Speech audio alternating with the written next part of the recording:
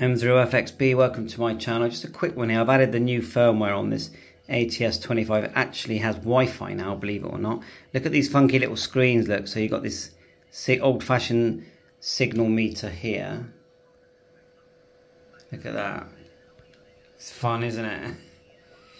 Tap it, watch. You have a scope. Tap again. Spectrum.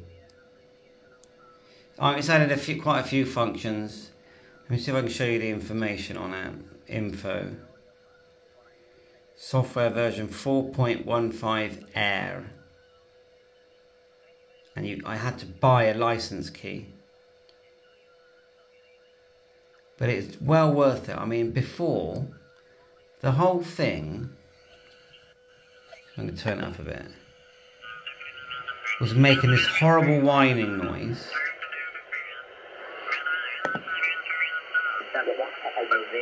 It's not making it now.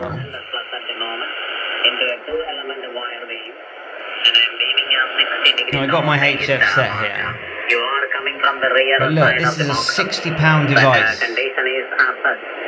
I just want to show those different screens. And it also has